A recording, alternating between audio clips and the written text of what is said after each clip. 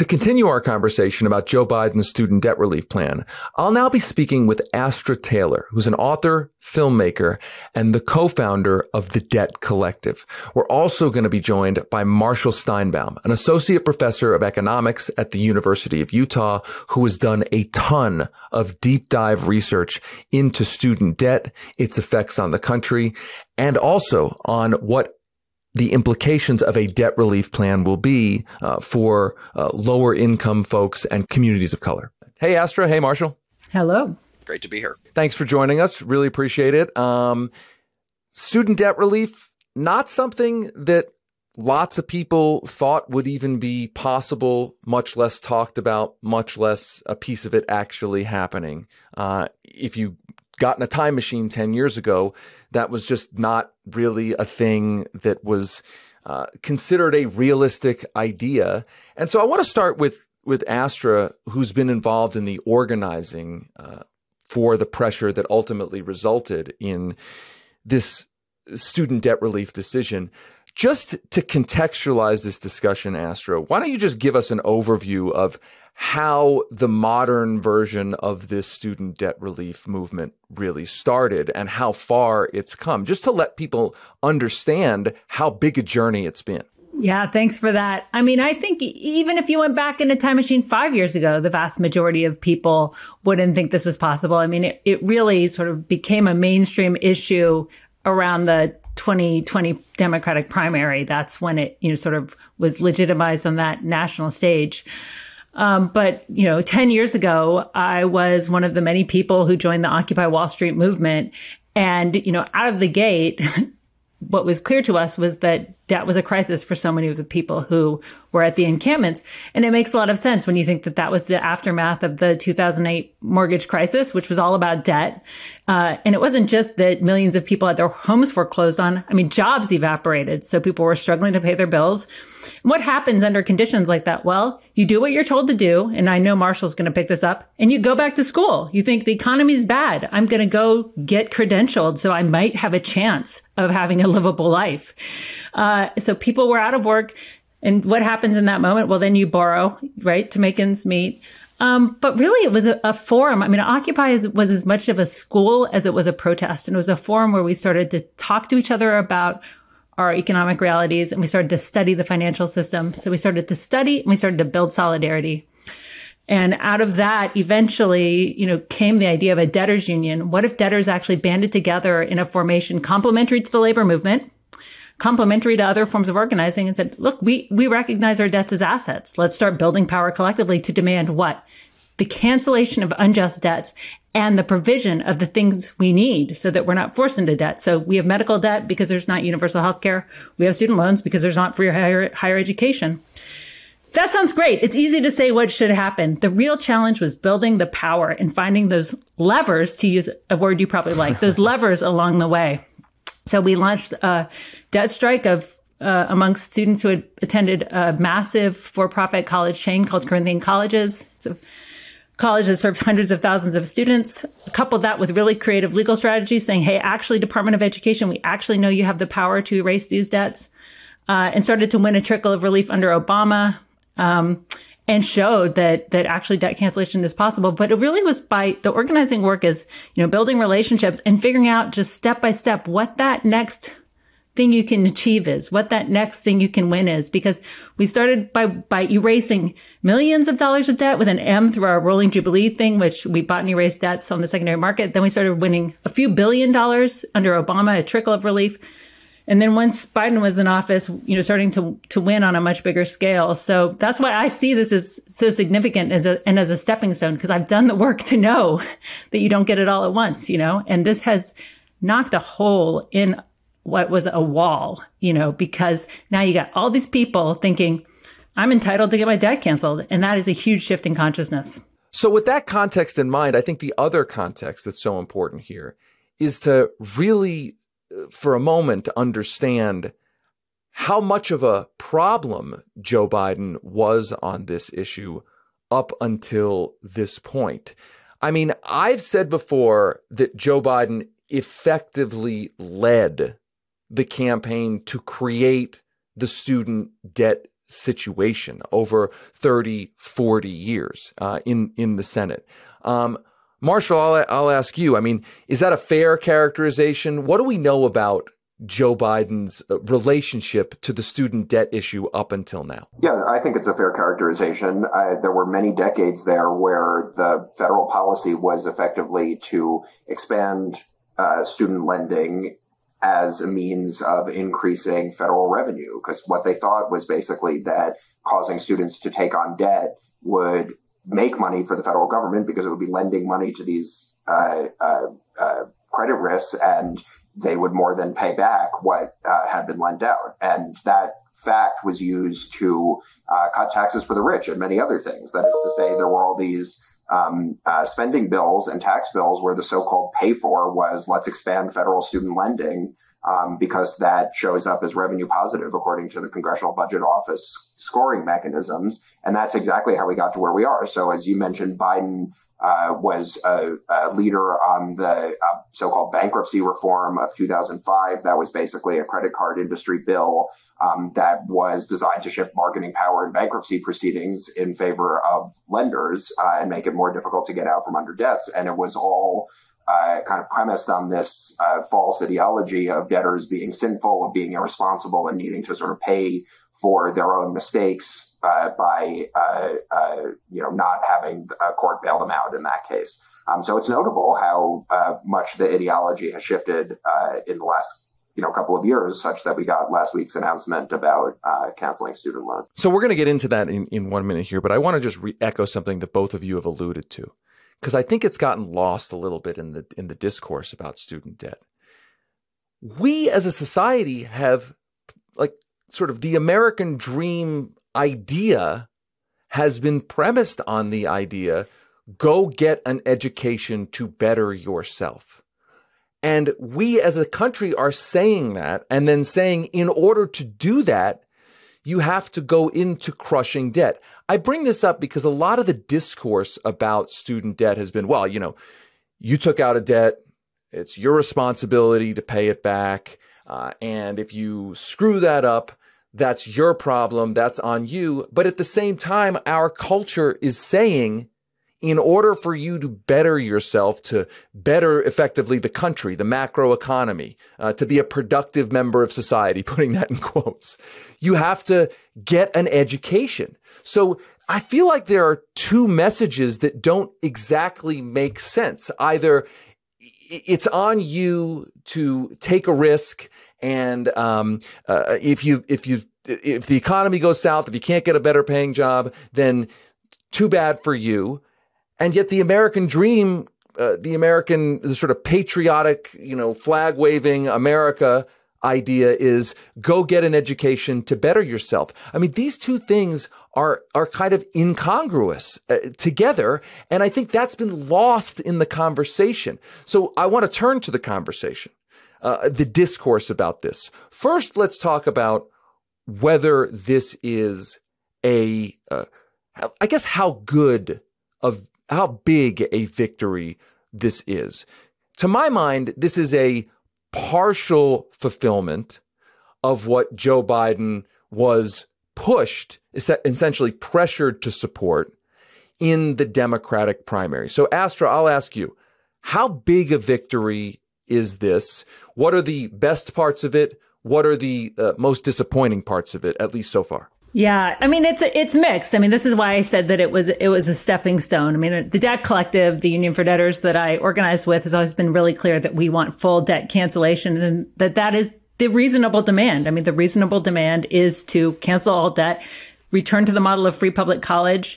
You know, uh, not demand that everybody get a credential, a higher education credential to be able to earn a living wage. I mean, the solutions are obvious, right? So we're, we're trying to build the political pressure to get there.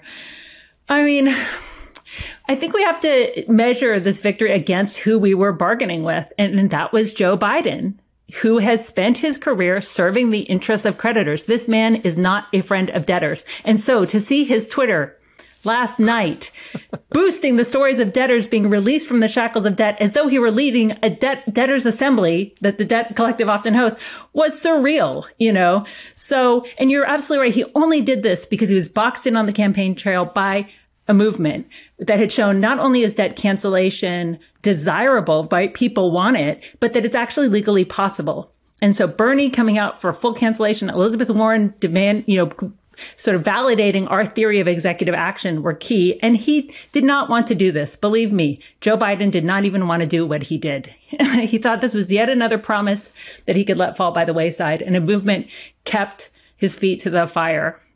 Uh, I mean, I think they were making up their minds to the last minute. That's why. So now to get into the, the real failures, there's no application yet for people to apply for this relief. The fact they're even saying there is going to be an application, Marshall and I co-authored a memo laying out with data, which supposedly neoliberals love, why this is a totally failed approach, right? The only, so this should have been, um, you know, even if they weren't going to do full cancellation, because again, we're, we're dealing with the corporate Democratic Party, it should have been automatically administered.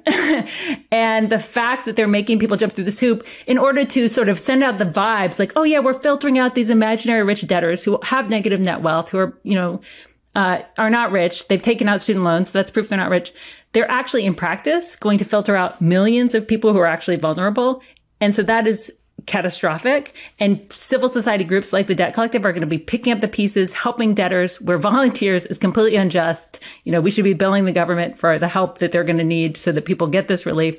Um, you know, so it's mixed. I obviously feel very conflicted. I have one sibling, her household's going to get $40,000 canceled. That's big, you know? And then I have another sibling who is a lawyer who works with elderly indigent clients making 50 grand a year and he has a quarter of a million dollars of law school debt. And this is like nothing for him. It's a joke. So, you know, this, this is why, but this is why emphasizing the organizing is so important because it's like, you know, these these are crumbs, but they were handed down because people fought for them, and we just need to keep going. And right now, millions of people think they're entitled to debt cancellation for the United States of America, that is huge, man. That is huge. Is, entitlement. Is huge. Entitlement is what we want to cultivate. You are entitled to a decent life. You are not a debtor. You are a creditor. You are owed a decent life. And this can help build us towards that goal. Yeah, and ultimately the the the ultimate folks who feel entitled, and this is where the shift really the paradigmatic shift really is, is that the people at the top have felt entitled for as long as I've been alive. Uh, the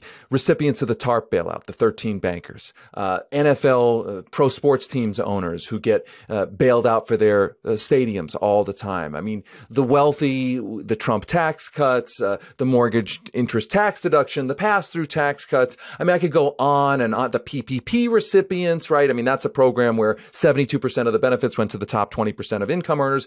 Th- this is considered not a scandal. This that is considered not controversial entitlement for those at the top. And I agree with you. The entitlement, there should be some entitlement for everyone else. And I think that's a, that's a really important point. And I just want to echo your point about, about means testing effectively or burying people in the paperwork, the application. I have said this before, I'll say it again. All of those hoops that people are forced to jump through when it comes to government spending are designed to prevent people from accessing benefits that they have a right to access for no other reason. That's what it's, it's there to deliberately bury you in paperwork. That is what that is. And I think on the politics of it, it's actually terrible politics. I had suggested a little while ago, Joe Biden should just send out a letter to like 50 million households. One line in the letter, dear household, your student debt was X, now it's Y, thanks to my decision on this date, signed President Joe Biden. Like, Sorry, I was going to say the Debt Collective has done that for tens of thousands of people through our rolling jubilee. We buy debts and we send them those letters, and we were like sending copies of our letters to you know t- tweeting at the administration. That's good politics. Like, it feels good. Do it.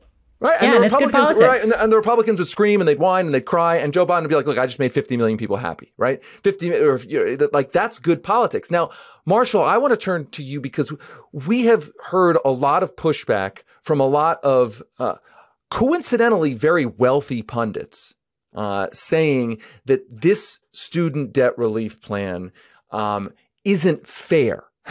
They've met, and what's interesting about it is as far as I can tell, the people making this argument are, as I said, very wealthy, but they're pretending to care about working class people. And there's example after example after example of television pundits, media pundits, affluent folks saying, this is bad for uh, this is forcing working class people to pay off the debts of kind of rich, lazy uh, uh, kids uh, who don't really want to work hard.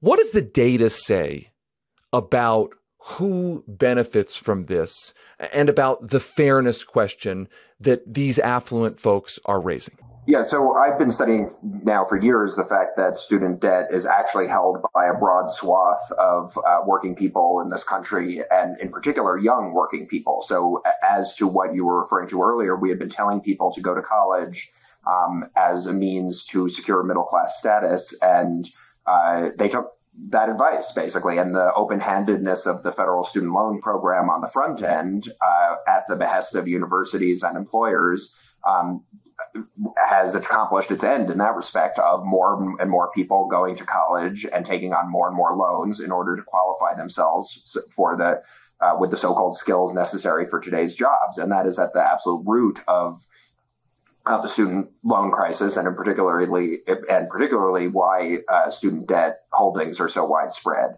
um, so it just isn't true that it's wealthy people who have student debt. Among young people, it's wealthy people who don't have student debt. That's the crucial sort of reversal that's happened um, in the last couple of decades. That you know, such that the pundits saying, "Oh, this is a giveaway to the rich," are just um, uh, uh, uh, you know, not in touch with reality.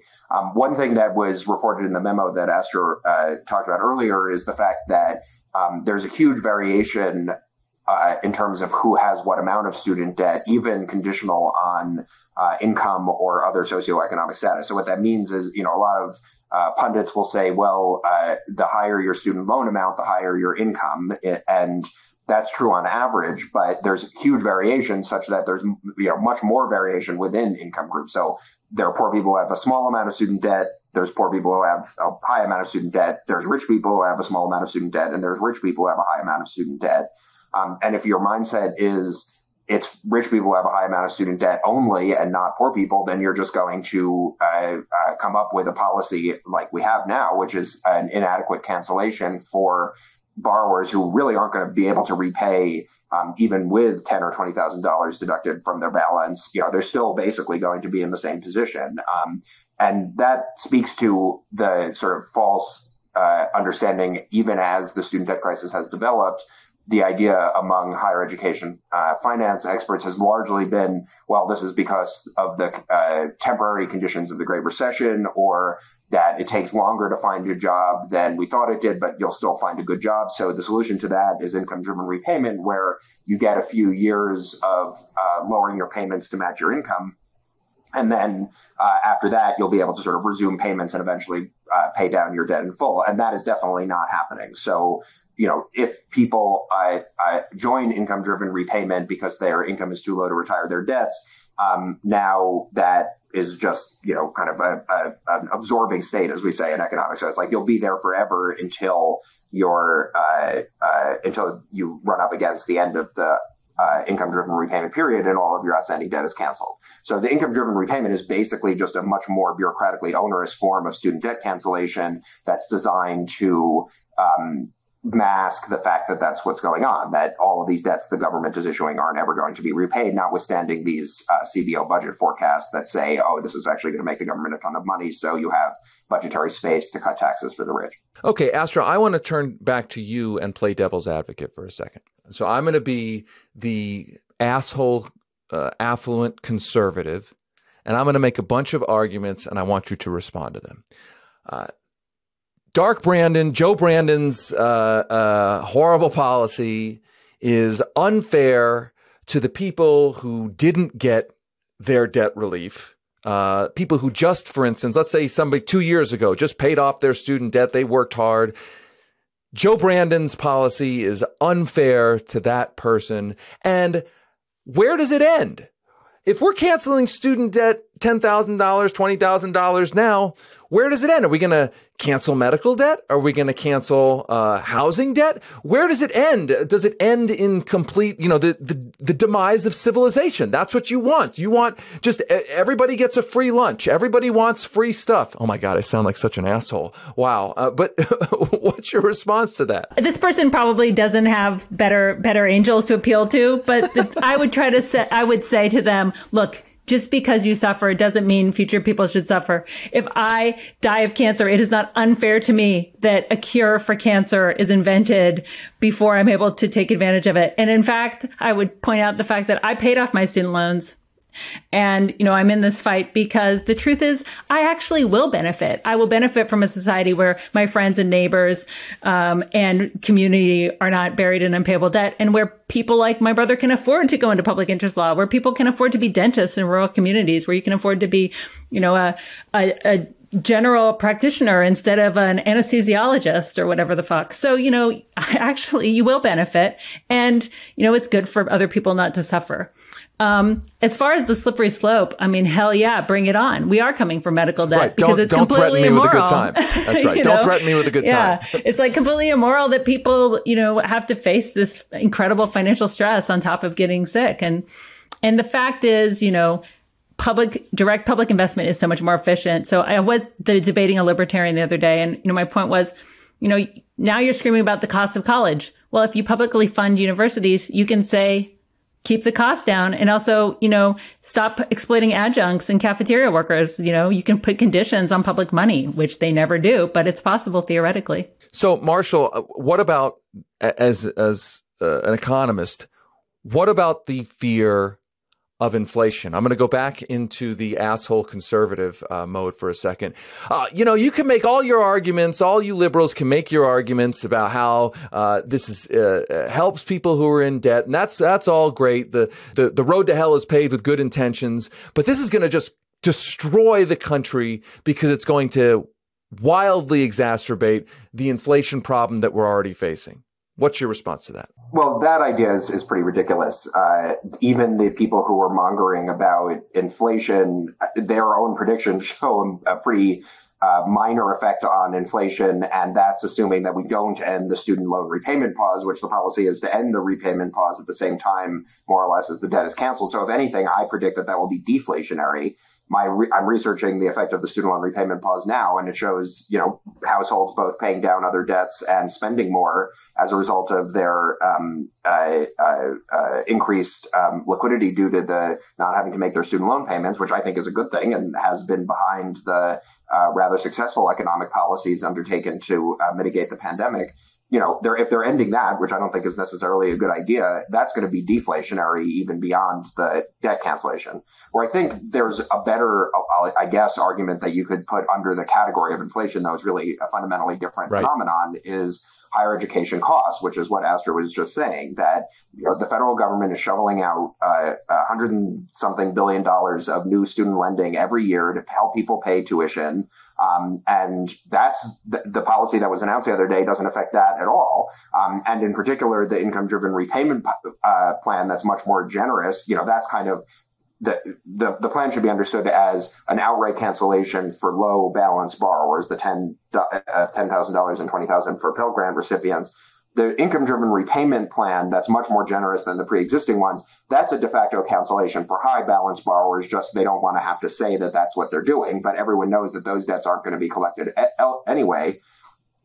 And so they have this new plan that could have the effect of causing universities to increase tuition more. Now, I really object to the people who are saying, oh, thanks to your student debt cancellation policy, now universities are going to start raising tuition. That's what they've been doing for 30 years. That was our policy was withdraw uh, public support for higher education, shift the funding models of institutions from state funding for at the institution level to individuals paying tuition backed up by federal student loans.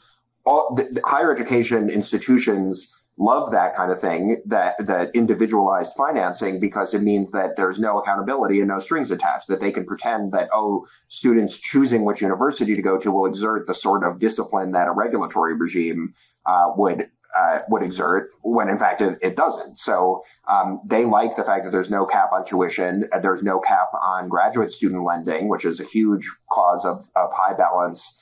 Uh, uh, student uh, student debtors that aren't able to repay, you know, that is part of the status quo.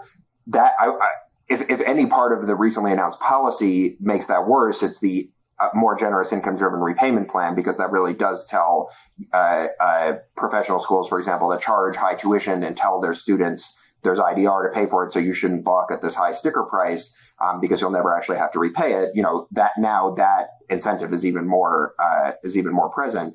But my my hope, and you know, I think there's some validation to this hope. Seeing the outrage reaction to the student debt cancellation is there might actually be political will to regulate the higher education sector and and and attach some strings to these huge outlays because it is basically funded by the federal government. Like that's that is their funding model, and they have had it uh, both both ways for too long. That is, they get all of this federal money, but they don't actually have to operate in the public interest at all.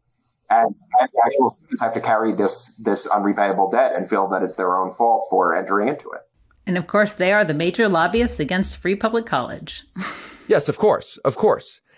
If you take Donald Trump's tax bill and look at its one piece of it that put a tax on endowments, and then you take Biden's beginning, hopefully beginning student debt cancellation, it almost is like two prongs of uh, two little pieces of reform aiming at a larger solution. Now, of course, Joe Biden doesn't unilaterally have the power to fix the system without Congress, right? I mean, that's this is an imperfect a policy in the in in one sense because he only has the unilateral unilateral power to stop the debt collection. He doesn't have the unilateral power to put in an entire, you know, reform of the higher education system.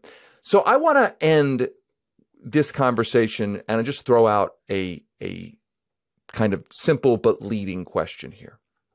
When I look at the opposition to this, when I look at the pushback from Republican politicians, uh, pundits, uh, sort of old school neoliberal economists, what I see, and you could both tell me that I'm wrong, I'm crazy, I'm a conspiracy theorist, but what I see is something deeper than just um, a, a wrong-headed analysis. What I see is a a kind of top tier of our society wanting to protect its status, wanting to not allow the prestige of a college education to be financially available to millions and millions of people. I think there is something deeper here, something based on class at work here that that the idea of millions of people being able to get a college degree uh, and to get it without going into serious financial hardship is detestable to the people at the top of society. And I also think that at the kind of corporate level, what free higher education can do is take the the handcuffs off of people what without debt you have m- much more uh, power to try to go do different kinds of jobs than you may if you have tens or hundreds of thousands of dollars of debt i mean you think about the the the a law student. They come out of school, they've got a huge amount of debt. The corporate law firm's offering them a huge payout, but they want to go do public interest law. And guess what? The debt pushes them into a decision. So I'm going to throw to either of you, both of you, am I being a conspiracy theorist in thinking that there is kind of eh, underneath here an unstated kind of class uh, hostility to uh, free higher education and to student debt relief? well, I, I, strongly concur with your analysis. I mean, that idea of both class and I want to add a race hostility sure. was yes. super uh, motivating to the move in the first place away from free public college and the California Master Plan in the 1960s to the Higher Education Act of 1972, which is really where we saw the student loan program kind of balloon up, start to balloon up to what it has become. That in between the the uh, Higher Education Act of 65, which was the first federal act, and the, its renewal in 72, you had the Rivlin Report, which was this sort of neoliberal economist saying how to uh, reform the higher education system. And she proposed uh, student loans basically as a means of disciplining campus activists. What I feel is, you know, so the Rivlin Report is very telling about the motivations behind that movement. Um, the other sort of key that I, I like to look to is this book, Academia and Anarchy by James Buchanan, who was a very right wing eco- economics professor, uh, covered tellingly by Nancy MacLean in her book, Democracy in Chains. At the time, in the late 60s, he wrote this book about academia as a professor at UCLA, basically in in spluttering outrage at the idea that people who he didn't think belonged on campus at UCLA were there and they were screwing things up. If you look at uh, uh, the John Olin Foundation, which was a major right wing philanthropy, one of the main motivations for that was this guy Olin, who was an engineering executive or something like that, had gone to Cornell and was a major, you know, alumnus and booster of it. He was outraged when campus activists occupied the administration building in like 1968 or something like that, and founded the Olin Foundation to prevent that from happening again. So all all of that is sort of, you know, you can just see this like white middle aged reactionary uh, upper class.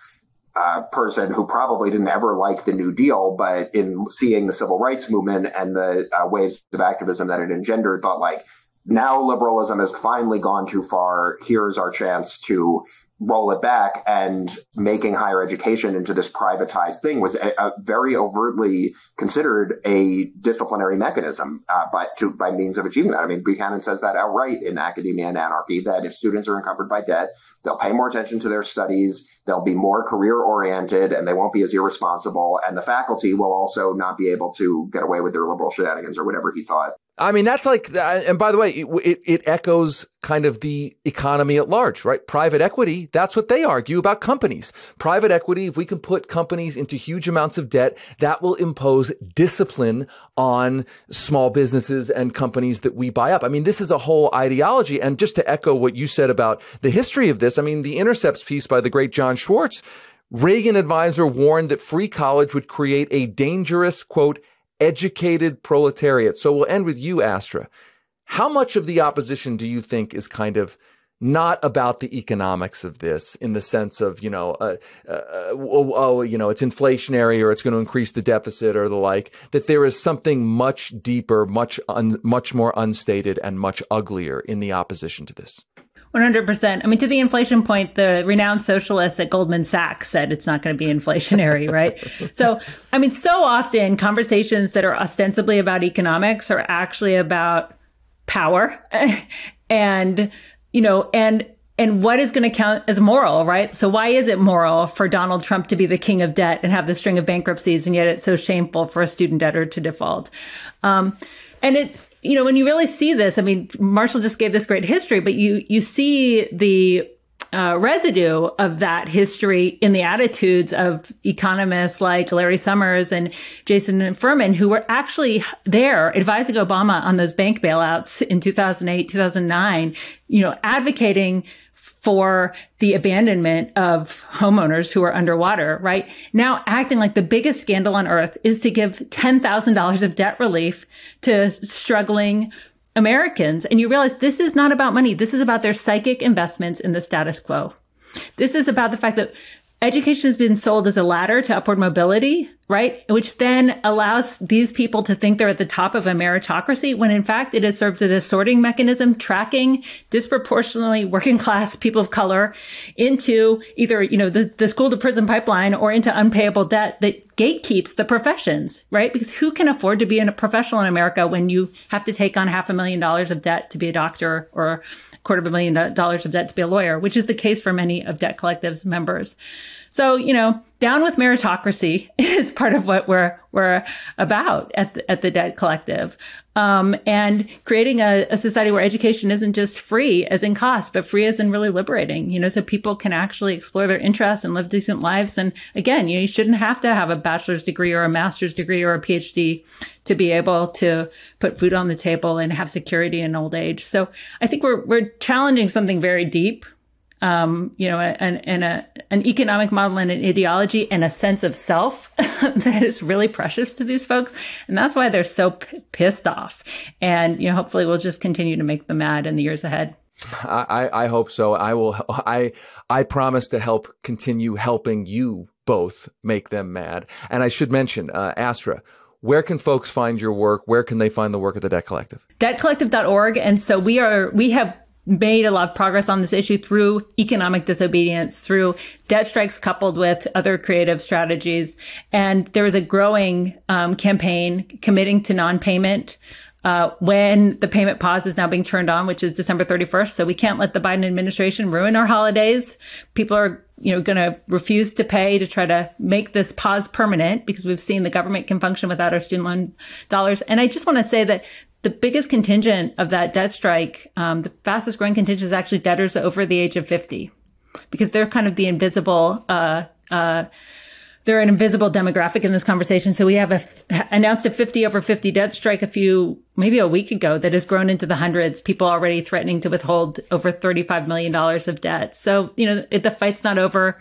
And, uh, and part of what we're trying to do is ca- get rid of that shame people who are in debt feel and say, no, we can't pay. We won't pay. We shouldn't have to pay.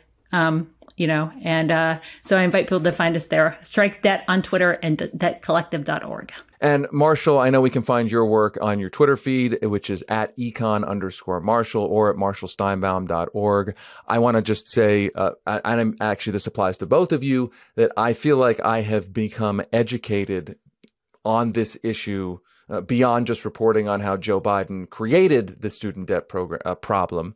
Uh, I've become educated on that by following both of you, and so I just want to thank both of you for all of your work. And I want to encourage everybody listening to go follow Astra and Marshall, uh, go check out the Debt Collective, uh, and get educated on this issue. Thanks to both of you. Thanks for having us. Yeah, thank you, David. This has been great.